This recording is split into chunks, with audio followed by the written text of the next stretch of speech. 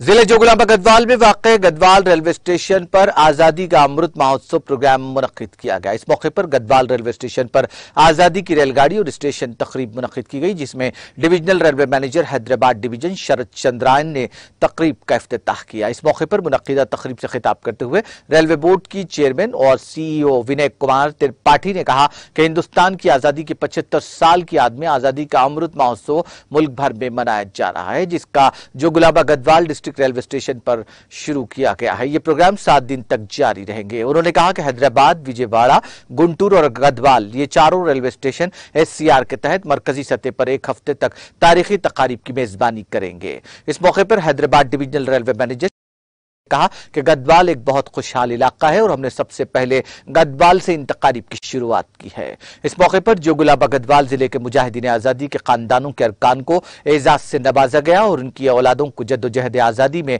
उनकी जद्दोजहद के लिए तस्लीम किया गया। उन्होंने कहा कि हिंदुस्तान भर में जारी आज़ादी का अमृत महोत्सव की तकारीब तेईस जुलाई तक मनाई जाएँगी। तकरीब में A D R M operation senior M Koteswara Rao, railway के सीनियर अफसरान, गदवाल रेलवे स्टेशन के अहदेदारों ने शिरकत की।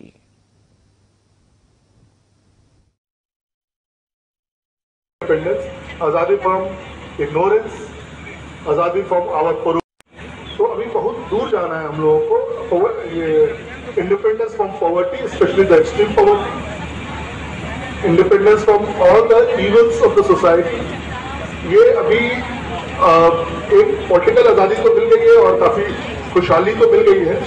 लेकिन अभी आज़ादी में कुछ सफ़र बाकी है। और इस सफ़र को पूरा करने के लिए ये एक मौका है कि अपने आप को जैसे अभी हमारे नुक्कड़ नाटक में दिखाया कि